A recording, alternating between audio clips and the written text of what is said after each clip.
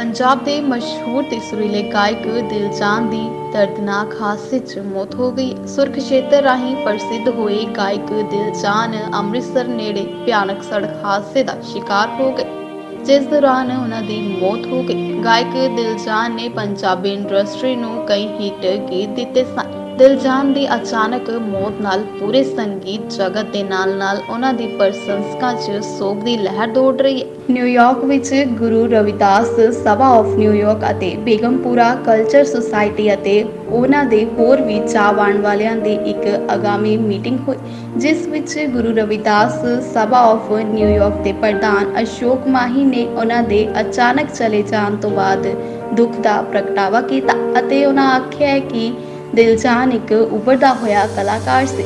ਉਹਨਾਂ ਦੇ ਚਲੇ ਜਾਣ ਕਰਕੇ, ਖਾਸ ਕਰਕੇ ਪੰਜਾਬੀ ਭਾਈਚਾਰੇ ਨੂੰ ਬਹੁਤ ਵੱਡਾ ਘਾਟਾ ਪਿਆ। ਉਹ ਇੱਕ ਵਧੀਆ ਸਿੰਗਰ ਦੇ ਨਾਲ-ਨਾਲ ਇੱਕ ਬਹੁਤ ਵਧੀਆ ਇਨਸਾਨ ਵੀ ਸਨ। ਇਸ ਮੌਕੇ ਉਹਨਾਂ ਦੇ ਨਾਲ-ਨਾਲ ਸਮੂਹ ਮੈਂਬਰਾਂ ਨੇ ਵੀ ਸੁਰਾਂ ਦੇ ਪਾਤਸ਼ਾਹ ਦਿਲਜਾਨ ਨੂੰ ਸ਼ਰਧਾਂਜਲੀ ਦਿੱਤੀ।